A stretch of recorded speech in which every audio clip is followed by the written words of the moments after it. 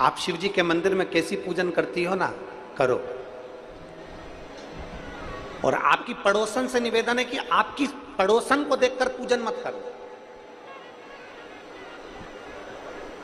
आपकी पड़ोसन को देखकर पूजन मत करो कि उसने कंकु चढ़ाया है तो मैं भी चढ़ाऊँगी, उसने चंदन चढ़ाया है तो मैं भी चढ़ाऊँगी, उसने चावल चढ़ाया है तो मैं भी चढ़ाऊँगी, उसने कमलगट्टे चढ़ाए हैं तो मैं भी चढ़ाऊँगी।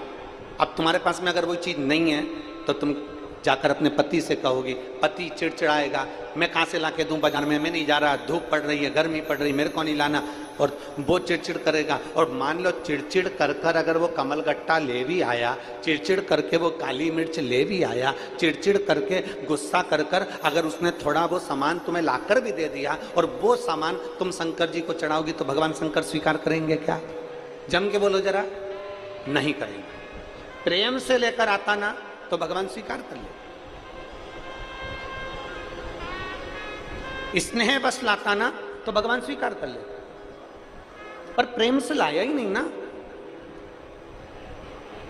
अब यहाँ माताएँ बैठी हैं।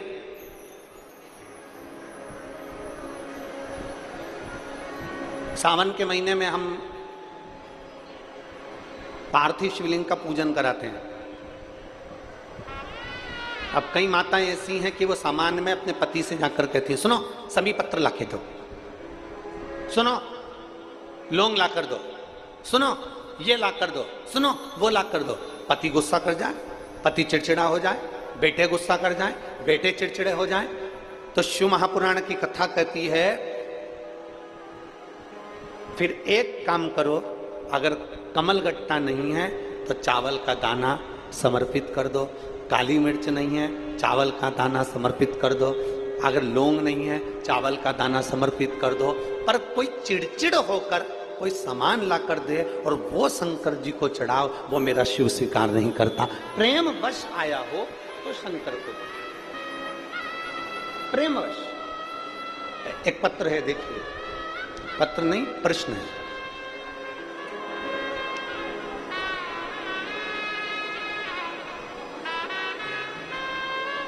गुरुजी, क्या घर के मंदिर में शिवलिंग और शिव परिवार दोनों एक साथ रख सकते हैं?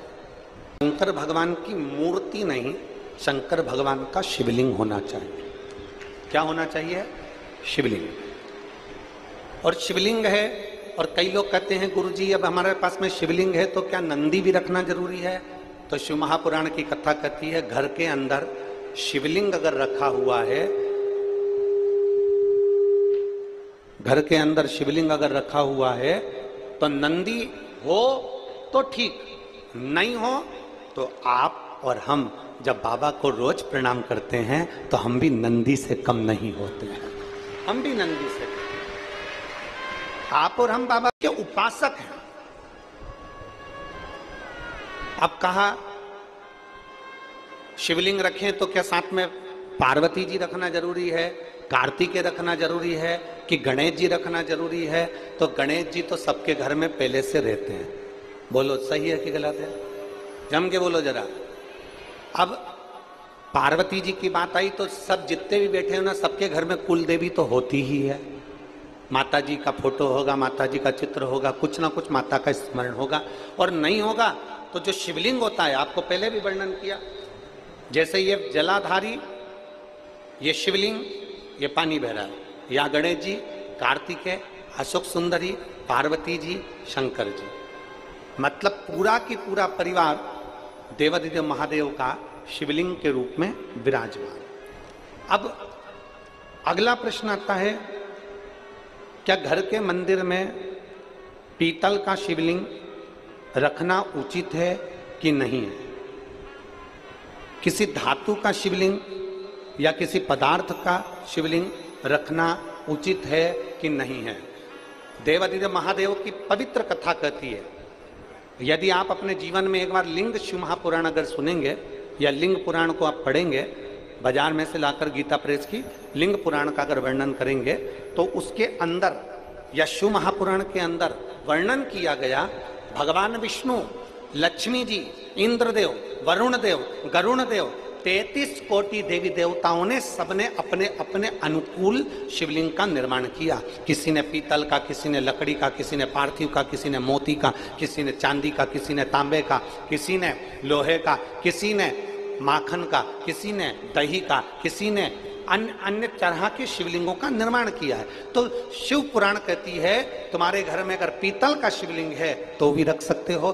धातु का शिवलिंग है तो भी रख सकते हो। मट्टी का शिवलिंग है तो भी रख सकते हो। चीनी का शिवलिंग है तो भी रख सकते हो। लकड़ी का शिवलिंग है तो भी रख सकते हो। पत्थर का शिवलिंग है तो भी रख सकते हो। पारत का शिवलिंग है तो भी रख सकते हो। स्फाटिक का शिवलिंग है तो भी रख सकते हो। तुम्हारे पास में जैसा शिवलिंग है, वैसे तुम पूजन करो। मेरा महादेव उसमें भी प्रकट होकर भाव से स्वीकार करें।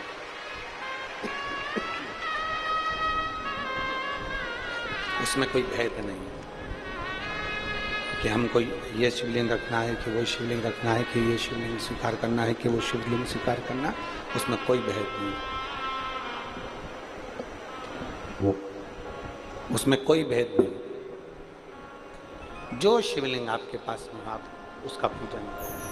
जो शिवलिंग आपके करीब में, आप उसकी आराधना करें। जो शिवलिंग आपके नज़दीक में है, आप उसकी आराधना करें। आप उसका पूजन करें। और तेरी पूजन को भगवान बना मन मंदिर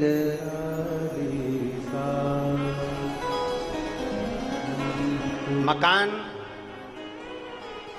बनाने के लिए प्लाट की ज़रूरत पड़ती है, रिटर्न नहीं आ रहा है। मकान बनाने के लिए जम के बोलो जरा, प्लाट की ज़रूरत पड़ती है।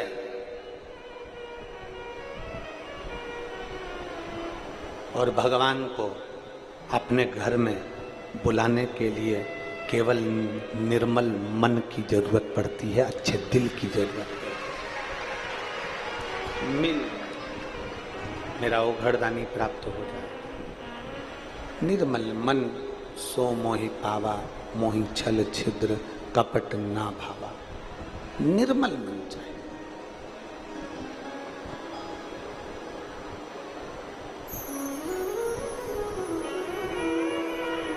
वो कहते ना कैसे आएँगे प्रभु? कैसे आएँगे प्रभु?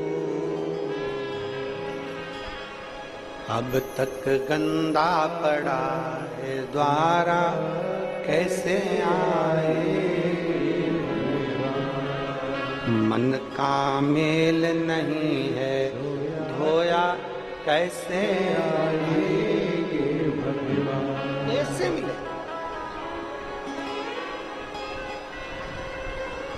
ए मेरी जीजियों,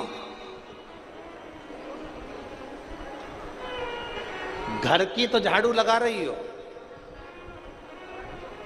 दरवाज़ा भी साफ़ कर रही हो। घर की झाड़ू भी लगा रही हो। घर की झाड़ू भी लगा रही हो, दरवाज़ा भी साफ़ कर रही हो। सब कुछ कर रही हो। घर में पोछा भी लगा रही हो।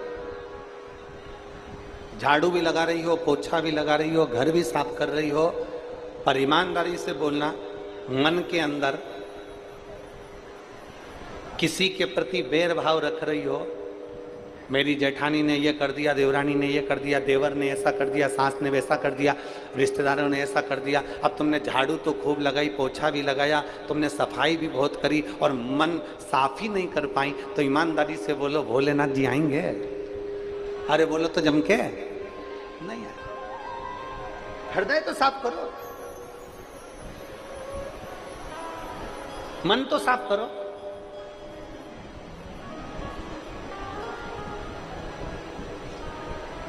गोरा कुमार की माँ माता जी और गोवर, गोरा कुमार के पिताजी, दोनों की आराधना करने का तरीका अलग अलग है। दोनों का। तुम जैसे रिझाना चाहो वैसे रिझा